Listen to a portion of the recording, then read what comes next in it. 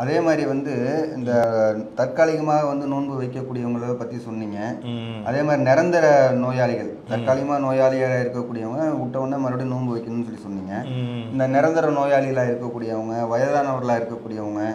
அவங்கெல்லாம் வந்து நோன்பு வைக்க முடியாது அப்படி நோன்பு வந்து வைக்க முடியாதவங்களுக்கு வந்து அதுக்கு பரிகாரம் எதுவும் கொடுக்கணுமா.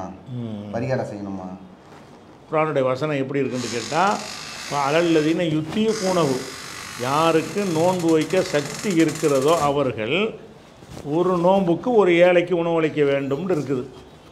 இது துவக்க காலத்தில் அருளப்பட்ட ஒரு சட்டம். நோன்பு வைக்க சக்தி இருக்குது பாருங்க அவங்களுக்கு தான். நோன்பு வைக்க சக்தி இருக்கும் பொழுது அவங்களுக்கு ரெண்டு வாய்ப்பு கொடுக்கப்பட்டுச்சு. நீங்கள் நோன்பும் வைக்கலாம். இல்லை என்று சொன்னால் ஒரு நோன்புக்கு பதிலாக ஒரு ஏழைக்கு நீங்கள் என்ன செய்யலாம்? உணவும் கொடுக்கலாம். இப்படி கொடுத்தீங்கன்னா அந்த நோன்பை வச்சு எல்லாம் கேள்வி கேட்க மாட்டான். இப்படி வந்து ஆரம்பத்தில் இருந்துச்சு. பிறகு என்ன செஞ்சுட்டான் எல்லாம் நினைச்சிட்டான்னா அதை மாற்றிட்டான் இந்த ஃபிதியா கொடுக்குறத நீக்கிட்டு நோன்பு தான் வைக்கணும். ஃபமன் ஷஹித மின்குமுர் ஷஹர ஃபல்யசும்ஹு. ரமலான் அடைஞ்சிட்டார் என்று சொன்னால் நோன்பு தான் வைக்க வேண்டும். அப்போ இந்த ஃபிதியா என்பது யாருக்கு உரியதாக இருந்துச்சு என்று கேட்டால் நோன்பு கடமையாக ஆகி அவன் அவனை வேணும்னு வைக்காமல் விட்டான்னு வைங்க.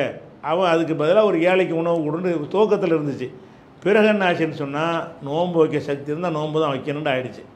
இப்போ நோன்பு வைக்க சக்தி இல்லாதவங்களுக்கு ஃபிதியா கொடுக்கணுமா என்று கேட்டால் அதுக்கு எந்த ஆதாரமும் இல்லை. அவங்க ஏன் ஃபிதியா கொடுக்கணும்? ஃபிதியாண்டா பரிகாரம்.